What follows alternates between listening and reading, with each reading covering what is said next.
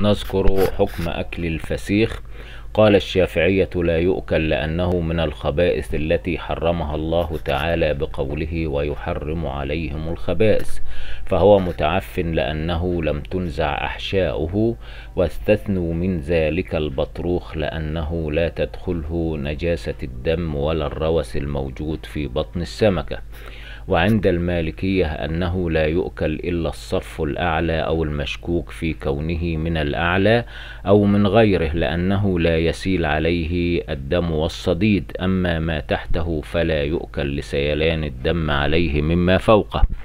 وذلك إذا كان في إناء أما إذا لم يوضع بعض بعضه فوق بعض فإنه يؤكل كله.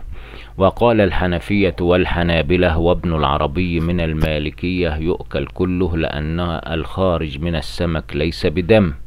بل رطوبة وأنه لا يخزن إلا بعد أن يجف من الدم وحينئذ يكون ما بداخله كالدم الذي يوجد في اللحم بعد طهيه. وقال الشيخ الدردير يرحمه الله تعالى ويغفر لنا من شيوخ المالكية الذي أدين به أن الفسيخ طاهر لأنه لا يملح ولا يرضخ إلا بعد الموت.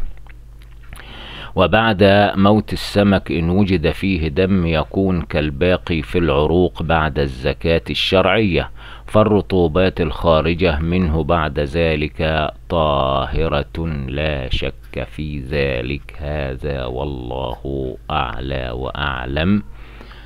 والسلام عليكم ورحمة الله وبركاته.